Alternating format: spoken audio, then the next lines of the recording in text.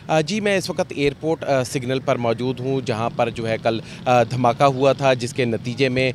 दो गैर मुल्कियों समेत तीन अफराद जो थे जहाँ बाक हो गए थे, जबकि सत्रह अफराद इस वाक़े में ज़ख्मी हुए थे, जबकि एक गैर मुल्की बाशिंदा जो है, जो चाइनीज़ बताया जा रहा है, वो ज़ख्मी है, जिसे तबी इमदाद जो है वो दी जा रही है। मैं आपको बताता चलूँ कि कल ये होने वाला धमाका इतनी शदीद नौीयत का था कि मलिर, इसके अलावा Shah Faisal colony, model colony Gulistan Jauhar बल्कि इसके अलावा जो दीगर दूर दराज इलाके हैं, वहाँ तक इसकी आवाज़ जो है वो सुनाई दी गई थी। जिसके बाद जो है यहाँ पर रेस्क्यू का अमल शुरू हुआ था और बताया जा रहा था इब्तदाई तौर पर कि ये एक जो है पेट्रोल ट्रक के अंदर जो है ये धमाका हुआ है, पेट्रोल ले जाने वाले टैंकर के अंदर। लेकिन जब बाद में तहकीकात सामने आई तो पता ये चला कि ये धमाका खेज़ मवाद के ज़रिए जो है ये धमाका किया गया और चाइनीज़ जो थे उनको जो है वो निशाना बनाया गया। दो जो थे कानवाई यहाँ से गुजर रहे थे चाइनीज़ के जिनको जो है वो निशाना बनाया गया। एक सी पैक के हवाले से जो चाइनीज़ का जो एक काफ़िला था,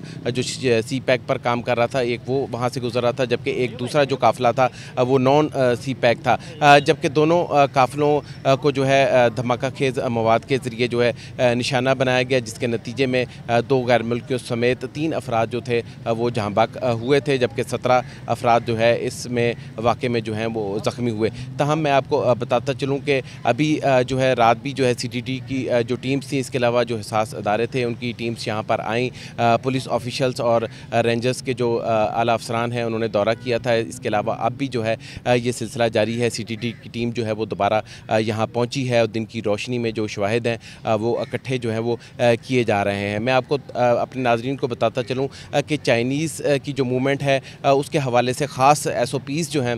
हुकूमत पाकिस्तान की तरफ़ से जारी जारी की गई हैं। कोई भी चाइनीज़ जब कराची एयरपोर्ट पहुँचता है तो स्पेशल प्रोटेक्शन जो यूनिट है बाकायदा तौर पर उसकी रजिस्ट्रेशन करता है और उसके अलावा जो एयरपोर्ट से ले जाने वाली जो गाड़ियाँ होती हैं, वो बम प्रूफ और बुलेट प्रूफ जो है वो गाड़ियाँ होती हैं, जिनके ज़रिए जो है उनको अपने मकाम तक जो है चाइनीज़ को जो है पहुँचाया जाता है। तहम इस हवाले से अभी तक जो है चीज़ें वाजे नहीं हो सकें कि ये जिस कानवाई को जो है वो निशाना बनाया गया, उनकी गाड़ियाँ जो थी वो बुलेट प्रूफ थी और बम प्रूफ थी या नहीं इस हवाले से जो है अला हुकाम से जो हमारी बात हुई है उन्होंने इस हवाले से अभी तक किसी भी चीज़ को जो है वाज नहीं किया। तहम जो अला हुकाम है यहाँ पर मौजूद और दीगर जो ऑफिशल्स हैं उनसे जो हमारी बात हुई है, उनका ये कहना था कि अभी इब्तदाई तौर पर जो है वो तहकीक़ात जो है की जा रही हैं। जबकि एक जो है अलीदगी पसंद जो तंजीम है दहशत गर्द तंजीम, उसकी जानब से जो है दावा किया गया है कि उन्होंने ये जो है